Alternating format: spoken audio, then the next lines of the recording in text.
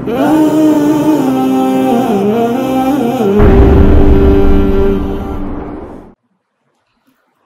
لله رب العالمين والصلاة والسلام على أشرف الأنبياء والمرسلين. نبينا محمد صلى الله عليه وسلم وعلى آله وأصحابه الطاهرين الطيبين وعلى من تبعهم بإحسان إلى يوم الدين أما بعد. Allah subhanahu wa ta'ala amekadiria kila mmoja katika sisi afe, na vifo vimegawanyika. Kuna vifo vingine ni vipesi, kuna vifo vingine ni vizito. Kuna mtu anakufa akiwa amelala kwenye kitanda chake katika hali nzuri ya ulaini, lakini kuna mtu atakufa kwa kukanyagwa na magari na matrela yanayopita mabarabarani, na kuna mwingine atakufa akiwa amelala nyumba imewaka moto, yumo ndani ya nyumba, nyumba imewaka moto, anakufa.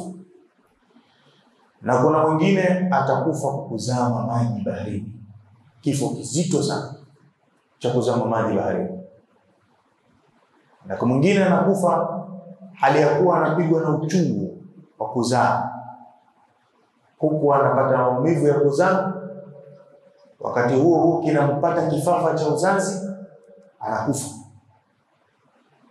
Yote hii ni milango, yote hii ni milango, lakini maksudio na malengo watu wafe wakakutana na Allah subhanahu wa ta'ala. Na Allah subhanahu wa ta'ala hakututaka tutahadhari au tuogope kifo. Allah subhanahu ametutaka kuogopa baada ya kifo, wattaqu yawman turjauna fihi ila Allah, na iogopeni ile siku ambayo mtarejeshwa kwa Allah. Hilo ndio la kuogopa kwa maana kwa vile siku ina ni siku ya judgment. Wewe ni mwema, ingia pale. Wewe ni mwovu, nenda kule. Usiku huu huu tulioamka ambao tuko nao hivi sasa, kuna watu hawakulala au walilala kidogo, wakaamka wakalala kidogo, lakini walitumia kwa ajili ya ibada, ukifanya adhkar kusoma Qur'an, kuswali jambo kidogo. Hakuna wengine wamekesha hivyo hivyo, lakini kukesha yao wamekeshea kwenye kula gati wala merungu, amekesha hivi. Hawa wote ndio wawe sawa, hawa siku wakifufuliwa mbele ya Allah. Huyu kazi yake kukesha na jambo hili, na huyu akikesha usiku kukesha na ibada zake, watakuwa vipi sawa? Na wote wawili wamepoteza usingizi, lakini mmoja kwenye jambo zuri la kumridhisha Allah na mmoja kwenye jambo baya la kumkasirisha Allah. Hivyo hatutakiwi kuogopa staili ya kifo, kwa sababu sote hatujui tutakufa vipi. Hapa hakuna hata mmoja anayejua mimi nitakufa kwa maradhi, mimi nitakufa kwa kuzama baharini, mimi nitakufa kwa kuungua na moto. So usijitahidi kuogopa kifo, itakuja cha kuogopa ni staili ya baada ya kufa kuna nini kinatokea. Na ndiyo maana kuna baadhi ya vifo ukivitazama kwa mtazamo wake ni vifo vibaya kwa staili ile anayokufa mtu, lakini baada ya kufa yule mtu anapokelewa vizuri mbele ya Allah subhanahu wa ta'ala, na sheria ikatuwekea tusitazame hivyo. Akifa mtu katika staili hiyo wewe kwa jicho lako waiona ni mbaya nzito, lakini kumbe mbele ya Allah ni staili nzuri sana.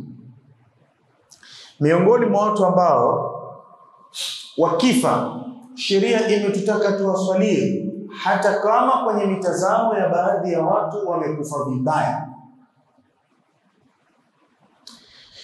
Man kutila fi haddin min hududillah, ni mtu atakayekufa akauliwa katika adabu miongoni mwa adabu alizoziweka Allah zipitishwe hapa duniani.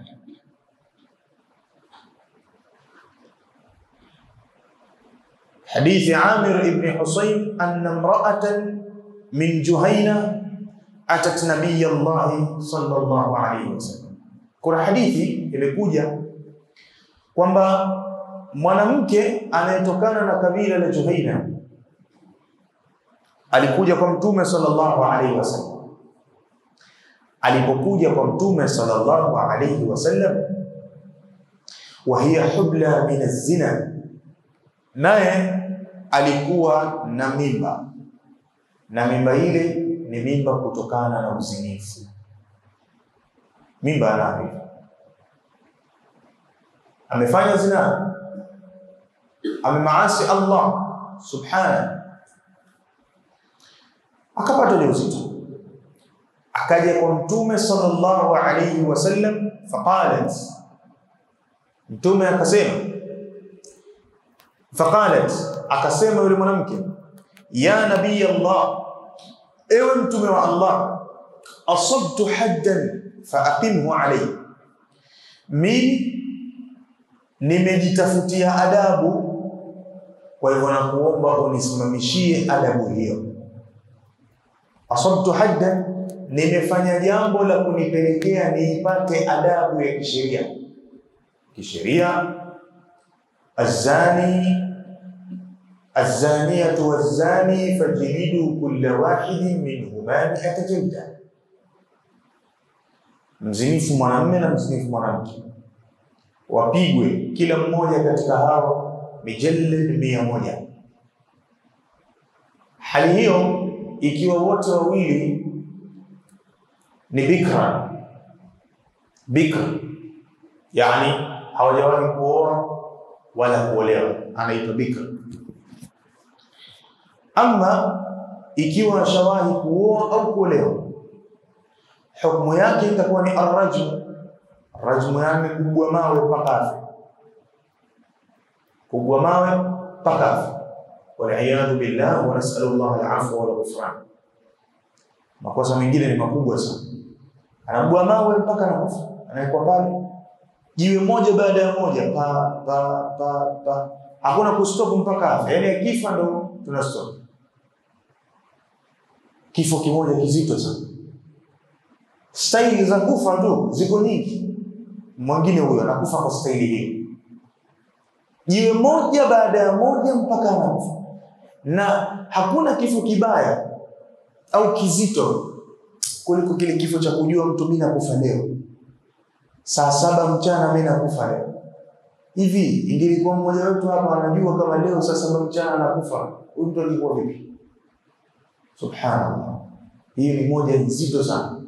Leo saa saba mchana mimi nakufa leo, hiyo ni moja nzito sana. Sasa huyu amekuja kwa Mtume amwambia mimi nimefanya jambo la kunipatia adhabu ya Allah, naomba nisimamishie adhabu. Anajua hiyo adhabu ikisimamishwa ni kifo.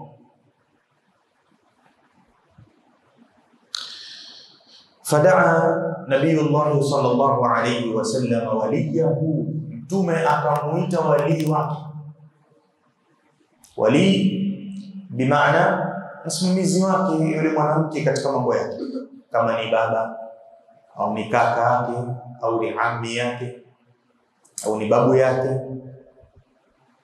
Faqal, mtume akasema ahsin ilaiha, sikiza bwana, huyo ana ujauzito. Sasa cha kufanya, nenda kaishi naye vizuri, kaileeni hii mimba mpaka izaliwe. Ahsin ilaiha, mfanyie wema mfanyie wema, mfanyie mambo mazuri mpaka hii mimba izaliwe. Huyu mtoto hana kosa, huyu mtoto huyu hana kosa, endeni akazaliwe. fa idha wada'at faatini biha, akizaa tu iletee huruma mwanamke. Akisha kujifungua mtoto ule pale, salamu salimini, huyu mwanamke letea basi fafaala, yule bwana akafanya vile. faamara biha nabiyullah sallallahu alayhi wasallam, Mtume sallam akaamrisha, fashukkat alaiha thiyabuha, zikafungwa vizuri nguo zake, yani e, zikafungwa, yani kudhibitiwa, ili akiwa anapigwa yale mawe asije akakashifika ni akakaa mchi watu wakamwona. Kahakikishwa manake hapa hata akiwa anapigwa na kinga kinga vipi mwenyewe hakashifiki yani. Na adabu kama hizi uzito wake, waliyadhu billah, uzito wake zatakiwa zifanywe mbele za watu, hakuna kufanya kisirisiri. Mwenyezi Mungu anasema waliyashhad adhabahuma taifatun min almu'minin, na washuhudie adhabu yao hiyo kundi la muumini, Ndio sharti lake. Subhanallah, ni ngumu kwenye moyo mtu atoke huko kutoka aje aseme mimi nishafanya. Kwanza kufedheheka kwanza, kumbe kafanya uzinifu, halafu baada yake pale inafuatia adhabu ya mawe. Pengine mtu abwe mawe kuanzia saa moja asubuhi mpaka saa tatu ndo roho ikatike. Ah, niambie hiyo adhabu ngumu kiasi gani? Bwa mawe saa tatu ndo roho ikatike, kisha kukatika roho achukueni kabisa. Basi Mtume akaamrisha zikafungwa vizuri zikakazwa nguo zake, thumma amara biha farujimat, kisha akaamrisha Mtume, haya fulani fulani fulani, tandika mawe pale. Akapigwa yale mawe mpaka akafa pale. Thumma salla alaiha, kisha Mtume sallallahu alaihi wasallam akamsalia.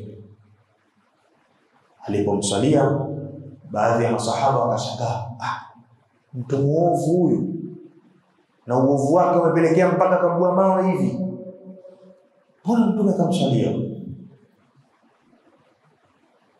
Faqala lahu Umar, Umar akamwambia mtume sallallahu alaihi wasallam, atusalli alaiha ya nabiy Allah, hivi ya Rasulullah, hivi unamswalia huyu wakad zanat, na kwa hakika hatuna shaka huyu alifanya uzinifu unamswalia? Faqala, Mtume akasema laqad tabat taubatan, wallahi huyu mwanamke ametubia.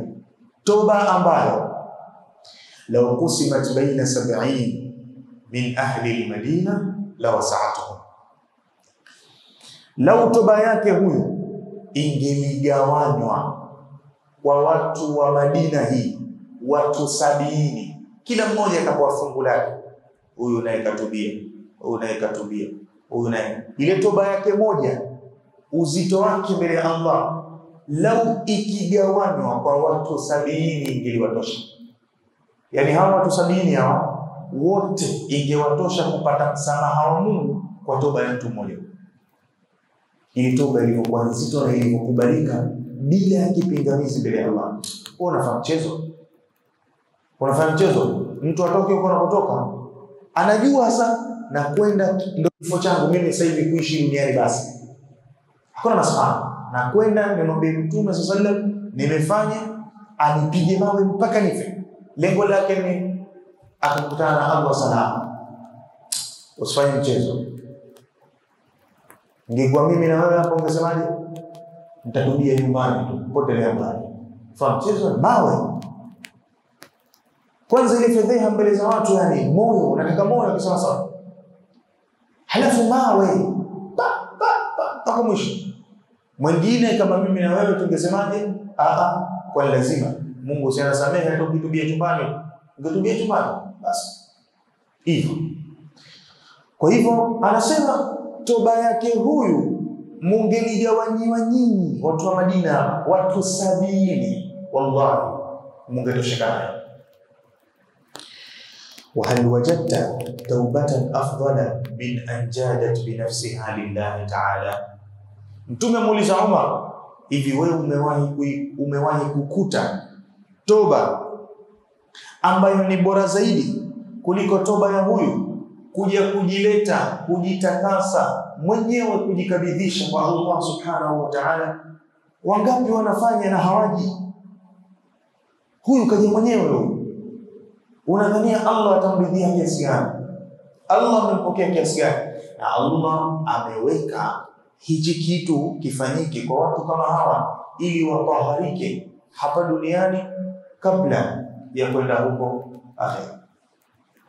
Lakini hapa kuna sharti. Mtu awe anafanya hivi lillahi ta'ala. Kuna wengine watafumaniwa atafumaniwa nini? huyu tumemkuta anafanya uzinifu. Na wakapatikana mashahidi wanne. Wakapatikana mashahidi wanne. Wakashuhudia kwamba huyu amefanya uzinifu. Wakisha kupatikana mashahidi wanne walioshuhudia kitendo sio walioshuhudia tumemwona kakaa na mwanamke chumbani. Huo si shahidi sio walioshuhudia tumemwona kalala na mwanamke wamejifunika shuka hivi. Sio walioshuhudia nimeona kitanda kinatikisika kinalia kuchi kuchi kuchi. Huo si ushahidi. Huo kabisa. Ushahidi ni vipi?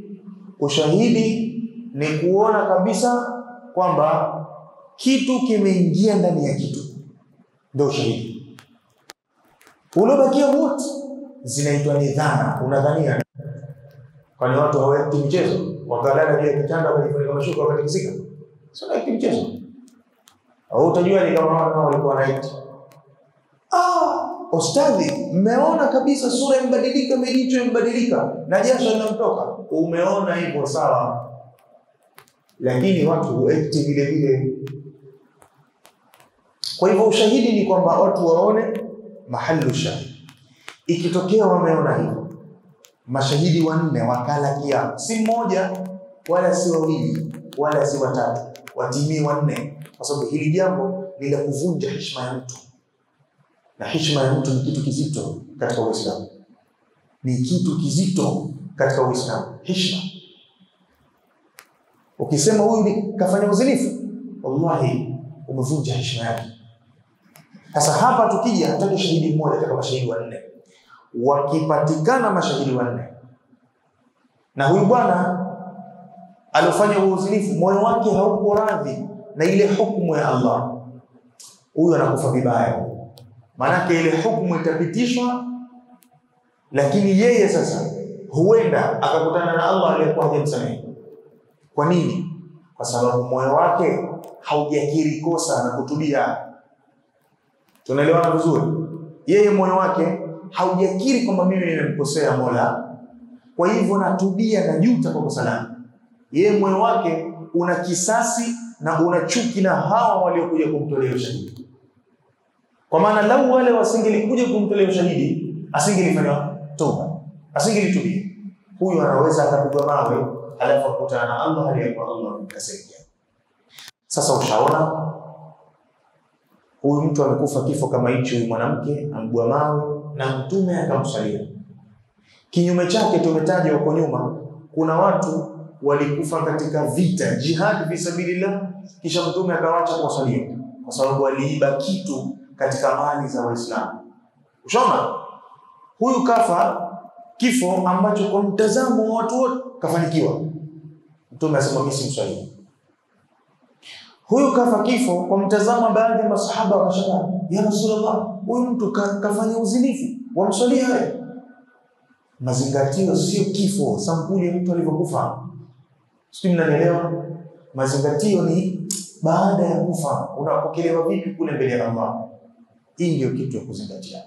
Yahitaji juhudi na yahitaji umakini ونكتفي بهذا القدر. والله تعالى أعلى وأعلم. سبحانك اللهم وبحمدك.